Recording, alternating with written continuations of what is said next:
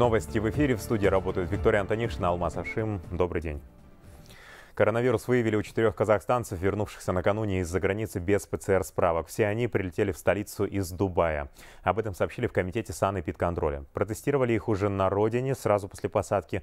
Тем временем результаты анализов на ковид в карантинном стационаре сейчас ожидают еще 192 человека. Они также прилетели без актуальных справок. Всего за минувшие сутки Казахстан принял 9 международных рейсов. Домой вернулись порядка тысячи человек. Жертвами ковид за сутки стали 12 казахстанцев. Еще 260 инфицированных находятся в тяжелом состоянии. Всего продолжают получать лечение порядка 26 тысяч человек. Заразились коронавирусом за последние сутки еще 918 человек. Больше всего новых случаев вновь в Павлодарской области. Там плюс 208 заболевших. Следом идет Алматы, 118 подтвержденных фактов и почти 100 новых зараженных отмечено в Акмолинской области.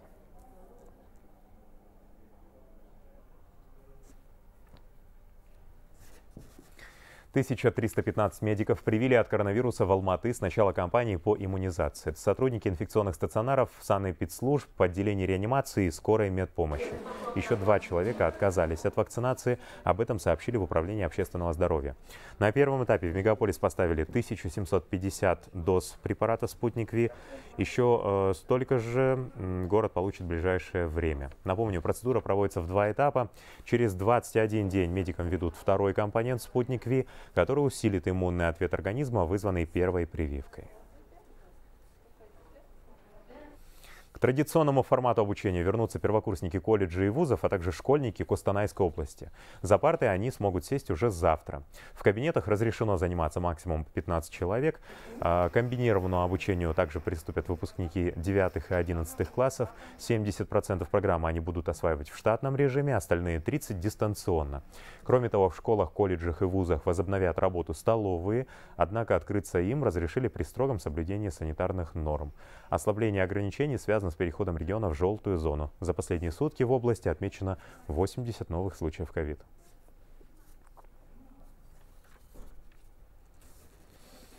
В бразильском городе Сан-Паулу учителя и родители вышли на протест против возобновления очного обучения в школах. Они настаивают на необходимости вакцинирования работников системы образования. Только после этого возвращение за парты будет целесообразным, считают активисты. Кроме того, по словам родителей, в школах не хватает персонала для обеспечения санитарных норм. Однако местные власти считают, что для безопасности детей и преподавателей созданы все условия. Отмечу, накануне полтора миллиона школьников вернулись в учебные заведения Сан-Паулу. Мы не отказываемся работать, но мы хотим сохранить дистанционное обучение до тех пор, пока не будут соблюдены санитарные меры, и все, кто работает в школах, не получат прививку против коронавируса. В Израиле, где рекордными темпами идет вакцинация населения, волна протеста поднялась среди антипрививочников. Люди, выступающие против вакцинации, затеяли в соцсетях масштабную кампанию по дезинформации и саботажу. Государство требует закрыть такие группы, а вот экономика Израиля демонстрирует удивительные вещи. Повысился сбор налогов. Подробно об этом Сергей Услендер. Первыми тревогу забили журналисты. Кто-то из них обнаружил в соцсетях группы так называемых антипрививочников, где призывали саботировать кампанию по вакцинации. Причем весьма оригинальным способом. Дескать, записывайтесь на прививку, а потом не приходите. Тогда вакцина пойдет в помойку. Оказалось, что у таких постов тысячи лайков и восторженных комментариев. Мы создали специальную группу, которая будет отслеживать подобные публикации. Мы постараемся добиваться их удаления из сети. Поймите, это не просто глупость, это опасная глупость. У нас больше пяти тысяч погибших, и всякие призывы бойкотировать вакцинацию – это преступление. Это при том, что государство ведет беспрецедентную кампанию по вакцинации. Вакцину покупают вдвое дороже и доставляют в Израиль по воздушному мосту из Европы. Прививают уже всех подряд, старше 16. Использование вакцины Pfizer очень сложное с точки зрения логистики. После разморозки срок годности буквально несколько часов. Минздрав обратился в Национальный центр по кибербезопасности. С точки зрения закона, это вроде как и не преступление, но учитывая обстоятельства, государство отнеслось к этому более чем серьезно. Одну из таких групп Facebook уже удалил после жалобы Минздрава.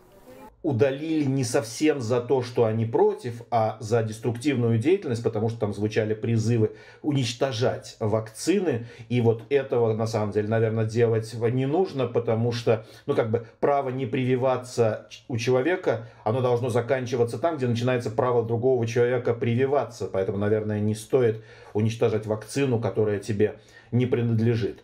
Тем временем вакцинация набрала невиданные обороты. Второй дозой привито уже около 2 миллионов 200 тысяч человек. Очень осторожно, но власти говорят, на лицо положительные сдвиги. Количество заболевших растет только в тех группах, которые не прошли тотальную вакцинацию. Есть снижение числа тяжелых больных. Снижение числа госпитализаций в тяжелых случаях снизилось на 26%, а число подтвержденных случаев снизилось примерно на 45% за последние 16 дней. Это прямой результат вакцинации. Это работает. Чем больше людей пройдет вакцинацию, тем быстрее мы сможем открыть нашу экономику. А вот экономика преподнесла сюрприз. Налогов за январь 2021 собрали гораздо больше, чем за тот же месяц прошлого года. Оказалось, за счет налога с продаж продуктов питания и электротоваров. Сидя дома, израильтяне стали больше есть и больше покупать. Сергей Услендер, Хабар 24. Неравенство в доступе к вакцинации может затянуть пандемию. Об этом заявили международные эксперты в ходе виртуальной конференции в ОСР. По их данным, на сегодня среди стран, начавших вакцинацию своих жителей, 94% приходится на развитые экономики. Для справедливого распределения год назад была создана международная система COVAX, через которую должны были идти все закупы вакцин. Но Евросоюз и США заключили с производителями контракты напрямую, обеспечив достаточное количество защиты для собственных жителей.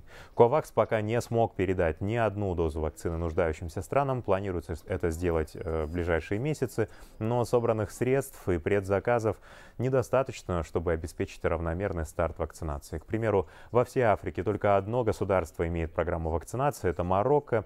При этом остановить глобальную пандемию могут только глобальные действия, отмечают в руководстве ОСР и Всемирной организации здравоохранения. Глава ВОЗ считает неправильным начинать массовую вакцинацию населения в одних странах, когда в других нет вакцины для обеспечения защиты хотя бы медработников и пожилых людей. И перекос в темпах вакцинации обернется затяжной пандемией и более сильным кризисом, в котором в первую очередь пострадают как раз-таки ведущие экономики мира. Oh. Глобальную экономику ожидают потери. По меньшей мере в 5,2 триллиона долларов, если она провалит равный доступ к вакцинации. Половина этих потерь придется на развитые страны. Мы их оцениваем примерно в 5 триллионов долларов. Можно этого избежать через экономическое сотрудничество и обеспечение равного доступа к вакцинам для развивающихся стран. Это только один пример того, какую выгоду принесет солидарность. Это очень умно, но также справедливо, экономически целесообразно и политически политически верно. В Испании отделения интенсивной терапии заполнены тяжелыми пациентами с ковид, сообщает Минздрав. И напомню, эта страна одна из наиболее пострадавших от коронавируса. С начала пандемии жертвами опасного вируса там стали более 60 э, тысяч человек. Медики страны до сих пор переживают стресс, полученный во время работы в первую волну пандемии. Эксперты опросили более 9 тысяч медработников из 18 клиник. И опрос показал, что порядка 45% из них подвергались высокому риску психического расстройства. Они вспоминают, что э, тяжело приходилось работать, когда в стране случился гуманитарный кризис. И кроме того, опрос показал, что почти у 4% врачей, находившихся на передовой борьбы с коронавирусом, возникали суицидальные мысли. Я помню молодого человека лет 30. Он умолял нас, пожалуйста, верните меня к жизни. И, конечно, когда пациенты просят вас о таком, и вы не знаете, сможете ли вы исполнить его просьбу, это очень тяжело. Тяжело жить с этим. Тем временем Грузия постепенно возвращается к прежней жизни. Наблюдая улучшение эпидситуации, правительство решило снять ограничения на работу бизнеса и мобильность граждан. Напомню, в конце ноября страна была вынуждена изолироваться и остановить перемещение граждан. Не работал общественный транспорт, торговые спортивные центры, школы, вузы, учреждения культуры и рестораны. Грузинское общество уже больше двух недель выступает за возвращение к прежней жизни. И какие ограничения все-таки сняли, расскажет Юлия Тужилкина.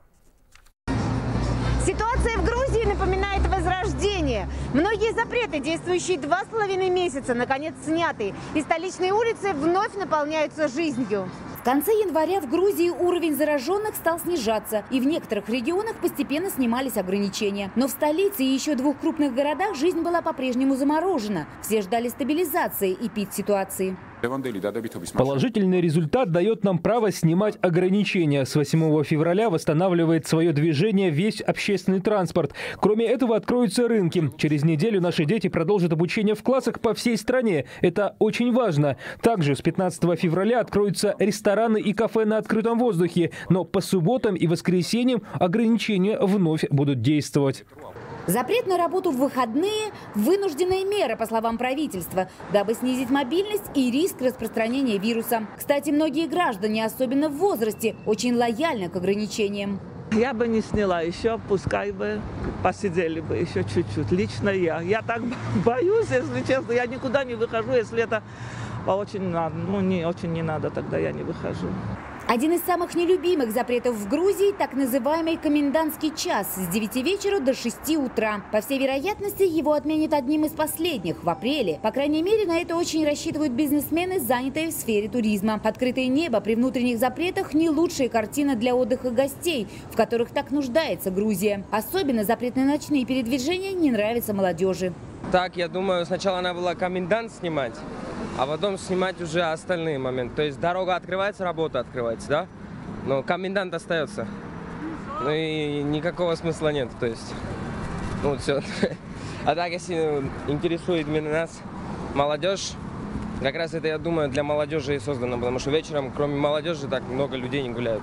Вместе со снятием запретов увеличивается и наказание за повторные нарушения действующих. К примеру, самое распространенное нарушение – это появиться на улице и в общественном месте без маски. За это штрафуют на 6 долларов. При повторном нарушении теперь штраф удваивается. По словам эпидемиологов, маски граждане смогут снять в лучшем случае в следующем году. Юлия Тужилкина, Шалва Сурмилашвили, Хабар 24, Грузия, Тбилиси. По меньшей мере 15 человек погибли от неизвестной болезни в Танзании. Еще более 50 госпитализированы в больнице. Об этом сообщают СМИ со ссылкой на представителей здравоохранения страны. Известно, что у болезни тяжелые симптомы, тошнота и рвота кровью. По информации медиков, вспышка произошла только в одном административном округе. Для изучения заболевания в регион направили группу экспертов. Кроме того, первоначальное клиническое обследование показало, что пациенты, в основном мужчины, страдали язвой желудка и заболеваниями печени. Другим темам впервые в истории. Сенат США сегодня рассмотрит вопрос о повторном импичменте экс-президенту. В случае его объявления Дональд Трамп лишится возможности занимать любые государственные должности и баллотироваться на выборах. Несмотря на то, что Трамп уже покинул Белый дом, обвинения против него не сняты. 45-го президента обвиняют в подстрекательстве, которое привело к беспорядкам и штурму Капитолия, из-за чего погибли пять человек. Напомню, Палата представителей объявила импичмент политику в середине января. Тогда большинство членов проголосовали «за». Позже обвинение было отправлено в Сенат, где теперь решится судьба экс-президента. Сам Трамп э, участвовать в процессе не будет, защищать его права будут адвокаты. По данным свежего опроса Gallup, 52% американцев поддерживают импичмент, 45% против. Однако политологи уверены, что попытка импичмента, скорее всего, провалится. Демократам нужно две трети голосов сенаторов, а пока у них только половина. В ООН призывают правительство нескольких десятков государств вернуть 10 тысяч своих граждан из Сирии. По данным правозащитников, условия проживания в двух крупнейших лагерях на северо-востоке этой арабской республики заметно ухудшились. Кроме того, находящиеся там беженцы подвергаются насилию и жестокости, которые сравнимы с пытками. В список 57 стран, граждане которых могут сейчас находиться на территории Сирии, попали Великобритания, Канада, Франция, США и Казахстан, а также почти все соседние нам страны. Отмечу, наша республика взяла на себя обязательства по репатриации и реабилитации граждан из зон вооруженных конфликтов в 2019 году. Всего из стран Ближнего Востока вернули более 700 наших соотечественников. Я думаю, что для многих из этих государств находиться в таком списке позор. Тем не менее, хочу подчеркнуть, что есть страны, которые предпринимают максимальные усилия, чтобы вернуть своих граждан домой, и за это нужно отдать им должное. Сотни людей эвакуировали из-за из наводнения на юго-западе Франции. Больше всего от проливных дождей пострадал город Сент. Там уровень реки поднялся более чем на 6 метров. затопило улицы, дороги, дома. Местным жителям приходится использовать балки, моторные лодки, чтобы переправляться по воде. Кроме того, синоптики предупреждают, в течение недели в регионе ожидаются сильные холода. Euh, Мы старались как можно дольше оставаться дома, но у нас отключили свет. С детьми было невозможно оставаться дальше. Непогода уже третий день бушует и в Германии. Из-за снегопада и аномальных морозов в некоторых городах не курсируют поезда.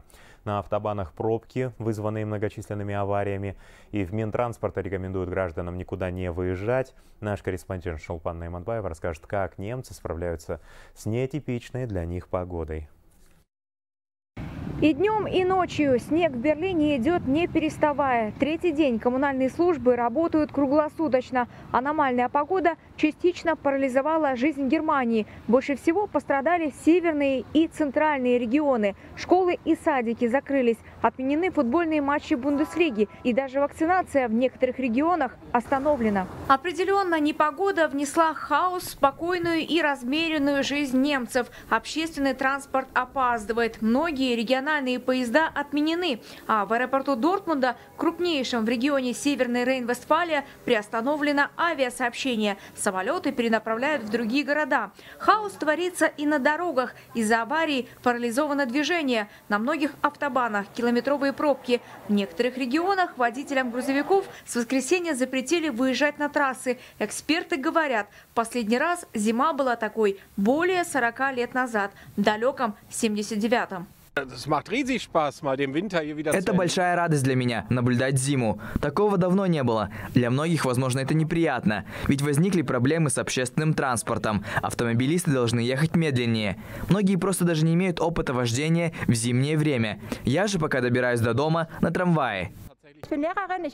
Я учительница и работаю сейчас из дома. Я считаю, что для такого снегопада это лучшее время. В школу я могу ходить, когда мне нужно. Дети тоже сейчас дома и, думаю, тоже очень рады. Когда мы были детьми, настоящая зима была часто, но это было очень давно. Сейчас же я даже не вспомню, когда погода была такой. Сильные ветра и морозы. Такая погода не характерна для Германии. Однако всю ближайшую неделю немцам придется жить в таких экстремальных условиях. Многие ученые уже заявили, что причина таким аномалиям – глобальное потепление. Шолпан Иманбаева, Милослав Лавриновский, Хабар 24, Германия. Тем временем в Карагандинской области из-за ухудшения погоды и плохой видимости закрыли движение для всех видов транспорта на участке автодороги Козларда-Павлодар. Ранее по этой же причине закрыли участок трассы Алматы-Усть-Каменогорск. Сложной остается ситуация и в Восточном Казахстане. Спасатели рекомендуют водителям не рисковать и отказаться от дальних поездок. Между тем, из-за ухудшения погодных условий штормовое предупреждение объявлено на большей части Казахстана. Только минувшей ночью из-за снежных заносов по республике спасли 29 человек, отбуксировали 10 легковых и грузовых машин и один автобус. Сильный ветер, метели, ограниченная видимость, неустойчивая погода и в Акмолинской области. В регионе сейчас закрыто движение для всех видов транспорта на дорогах республиканского значения. Тем не менее, многие автомобилисты игнорируют рекомендации воздержаться от дальних поездок. К примеру, на трассе Нур-Султан-Петропавловск в районе Щучинска со вчерашнего дня стражи порядка спасли 94 человека, 13 из них дети. 40 частных подворий пострадали от разлива талой воды в Алматинской области. Специалисты говорят, происшествие вызвано резким потеплением э, в регионе, а еще обильными осадками за прошедшие пару дней. В целом подтопило ряд дворовых участков в трех населенных пунктах э, в селах э, Ешкольмес и Алда-Бергенова Ескельдирского района, а также Талапты Коксусского района. 10 человек эвакуированы спасателями, их разместили в средней школе, а сейчас на месте работают подразделения сил ЧС. Со дворов жителей уже откачали всю воду. Сейчас проводятся работы по углублению арочной сети и возведению насыпной дамбы.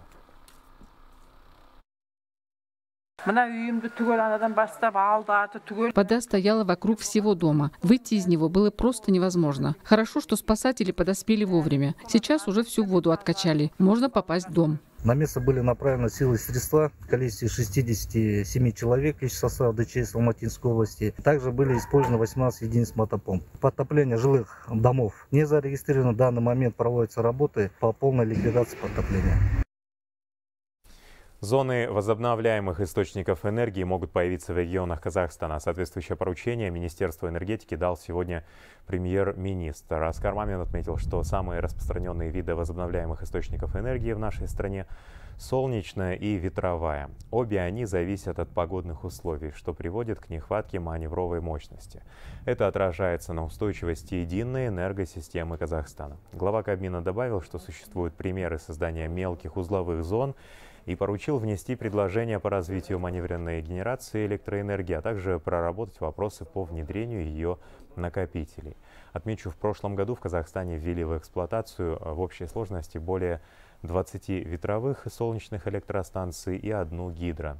Объем выработанной ими энергии вырос в сравнении с 2019 годом на 74%.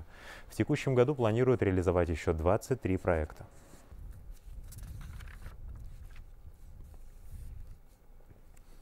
Казахстане планируют упростить процедуру открытия и закрытия ИП. Об этом сегодня на заседании правительства сообщил министр финансов. Ерулан Жамаубаев отметил, что сейчас разрабатывает специальное приложение для индивидуальных предпринимателей «Е-Салых Бизнес». С его помощью также можно будет сдавать налоговую отчетность без комиссии оплаты услуг операторов.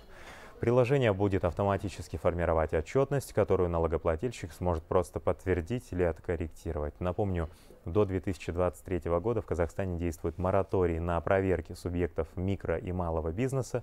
Кроме того, на этот же срок они освобождены от уплаты налогов на доходы.